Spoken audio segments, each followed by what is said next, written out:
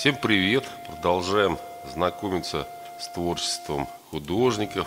Сегодня я хотел бы вам рассказать немножко о художнике, голландский гравер, картограф, издатель, основатель издательства дома Пискаторов, класс Янсен Висхер, псевдоним Пискатор Николас Иоаннис.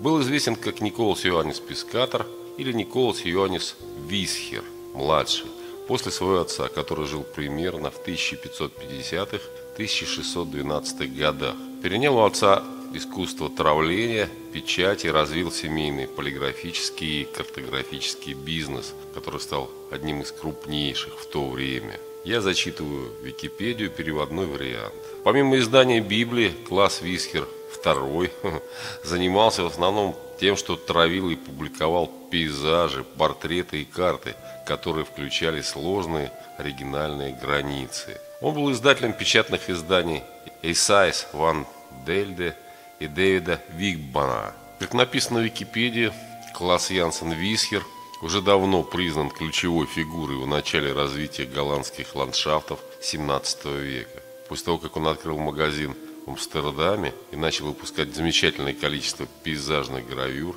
которые предлагали реалистический вид – на местную голландскую и сельскую местность, он быстро утвердился в качестве ведущего издателя голландских пейзажных гравюр в Амстердаме.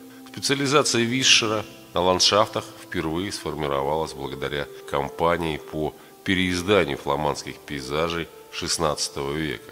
Родился и умер в Амстердаме. Как я уже сказал, вел семейный бизнес, отец тоже занимался гравировальными работами. Ну и, конечно, знаменитая торговая марка Вишеров – это рыбак, маленький рыбак, который помещен где-нибудь около воды, и вот этот знак ставился на его гравюрах. Их печатные формы семи вишеров в течение столетий использовались другими типографиями, которые по незнанию, а может и не по незнанию, копировали целые листы. Помимо Библии, класс Вишер второй, так его называли. Первый это отец, конечно. Прежде всего гравировал и публиковал пейзажи, портреты и карты – он сделал более 200 листов, и его карты включали в себя сложные оригинальные границы. Вишер умер в 1652 году, был издателем гравюр Ван де Вельде и Дэвида Вингбурна и оказал большое влияние на Рогмана. Ройланд Рогман, голландский художник. По мнению многих ученых, именно описательный, почти документальный подход к деревенским пейзажам послужил художественным стимулом для последующего создания вечером местных голландских пейзажей.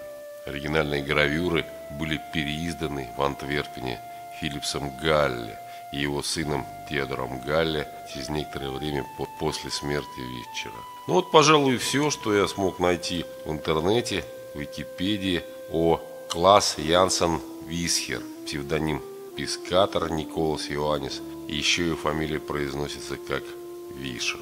Все, всем пока, всем привет. Сегодня узнали об очередном художником голландском каравере, картографе, издателе класс Янсен Висхер.